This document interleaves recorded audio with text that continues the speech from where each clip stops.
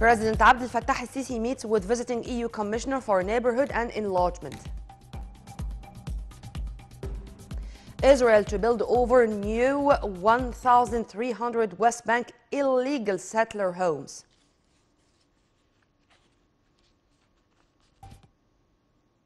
Welcome back. The details.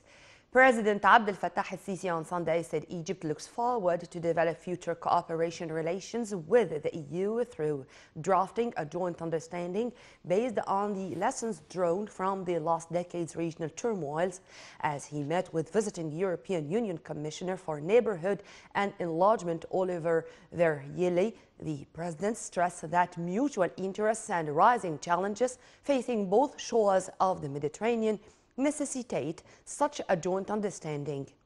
Presidential spokesperson Ambassador Bassam Radi said the meeting dealt with different aspects and dimensions of Egypt-EU relations, notably in education and healthcare, as they are basic constituents of the state strategy for building man. The meeting also tackled cooperation in combating coronavirus fallouts through cooperation in the joint manufacturing of vaccines for both locals and regional markets, given Egypt's advanced pharmaceutical industry infrastructure.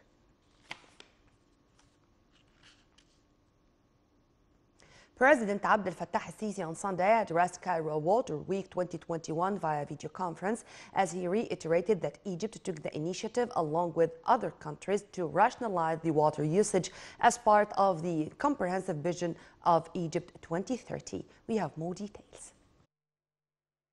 President Abdel Fattah el-Sisi said on Sunday water scarcity is one of the major worldwide problems among other challenges such as overpopulation, environment degradation, irrational establishment of unstudied water projects.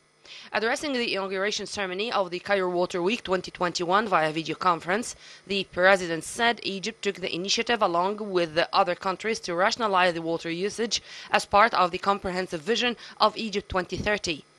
President Sisi added that Egypt believes that supporting development efforts is a main prerequisite for establishing international peace and security, pointing out that the country is adopting an ambitious national water resources management and development strategy with an estimated cost of 50 billion US dollars.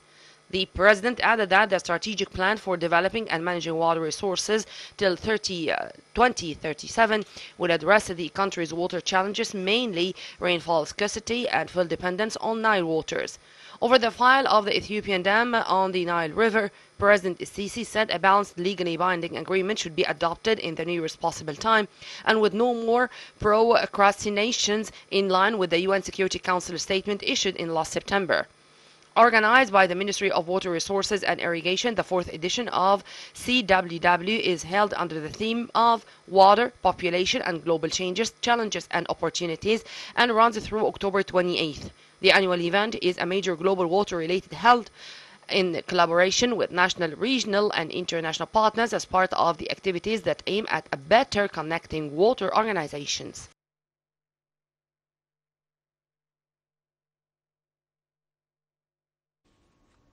Via video conference, Prime Minister Dr. Mustafa Madbouli told the first session of the Cairo Water Week that the water issue is a life or death issue for Egypt given its natural and geographical location. Madbouli called for an open dialogue to enhance cooperation among countries sharing river waters aimed at ensuring optimal administration of international river basin. The Prime Minister said such dialogue will help achieve aspired developments for all peoples, adding that there is a need also to secure international support to countries that are facing water scarcity, provided that political leaders are willing to create needed mechanisms for cooperative administration for shared water. Worth mentioning that uh, Prime Minister Dr. Mustafa Madbouli arrived accompanied by a high-ranking delegation to the French capital, Paris, in an official uh, visit in which he is going to have official talks with a number of um, CEOs of big multinational companies who have interests of uh, making a lot of investment projects in Egypt. Back to the CWW, addressing the inaugural ceremony of CWW Minister of Water Resources and Irrigation, Dr. Muhammad Abdelati, said the sound and effective management of cross-border water resources is a major world challenge. The minister added that world governments are obliged to provide for its national water security with ambitious plans.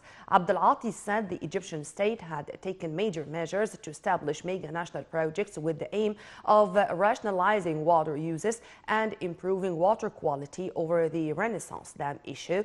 The Water Resources Minister stressed a legal and just agreement should be reached over the filling and operation processes of the so-called Ethiopian Dam, adding that Egypt is keen to boost cooperation with all states in the field of water resources.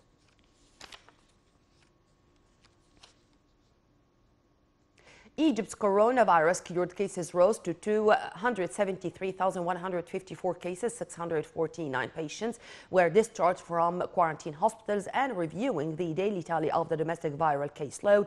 The health ministry reported 881 new infections and 47 new fatalities.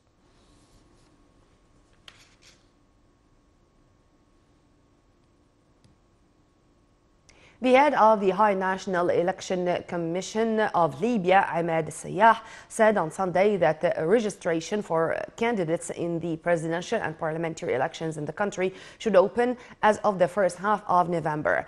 Sayah added that the uh, registration process should open in mid-November when technical and logistical preparations are completed. Wrangling over the constitutional basis for elections, the rules governing the vote and questions over its credibility have threatened threatened to unravel the country's peace process over the last months.